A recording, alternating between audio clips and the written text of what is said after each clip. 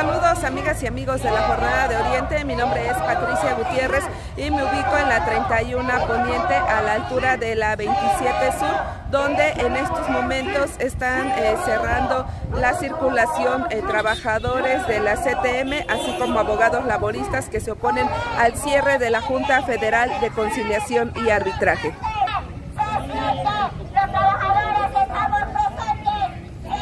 Los inconformes están bloqueando, como les comentaba, a la altura de la 27 y también de la 29 Sur.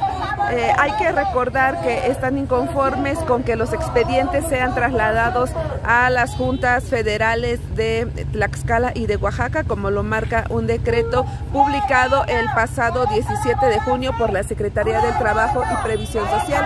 También hay que recordar que el viernes pasado hubo una reunión entre representantes de gobernación eh, federal y estatal. Se suponía que este encuentro tendrían que llegar también representantes de la Secretaría del Trabajo y Previsión Social. No lo hicieron, eh, motivo por el cual pues no se llegó a ningún acuerdo y es que de nueva cuenta se están recurriendo a estas medidas.